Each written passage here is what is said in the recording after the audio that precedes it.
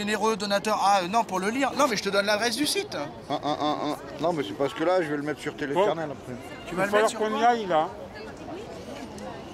Non, mais après, je vais pas le lire, ça dure trois plombes. hein. Hum, hum. Non, mais le- l'histoire du robot. On est à plus d'un million hein, actuellement.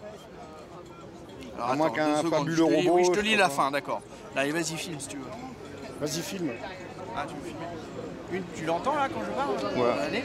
Ouais, Une question lancinante se pose. La caisse de soutien aux forces de l'ordre organisée par M. Muselier n'aurait-elle pas bénéficié d'un petit coup de pouce d'un robot très généreux 1869 généreux donateurs insomniaques, rajoutant la somme extravagante de 52 265 euros entre 4h27 et 5h24 du matin. Le phénomène était très très bizarre.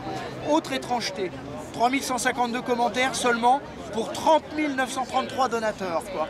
NB, les robots ne laissent pas de commentaires et même plusieurs commentaires répétés avec le même expéditeur. Ensuite, la moyenne de dons par donateur est toujours quasi strictement la même.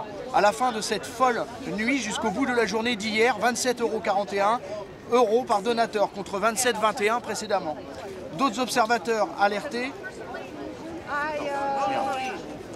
je, je- reviens dessus.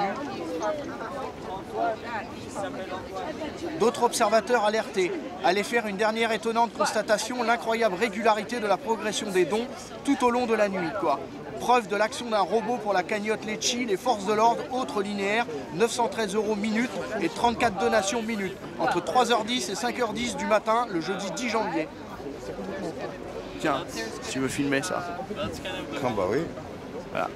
En fait, en- le trait bleu, c'est les donations linéaires, quoi. Les, don- les donations, ça se fait au Ça doit venir du Népal ou de. Mais oui, euh, c'est n'importe quoi. Non, c'est, en fait, ils ont incrémenté ça. Ça se trouve, il n'y a même pas de rond derrière, quoi. Il y a que dalle. hein. Et monsieur est économiste. Voilà.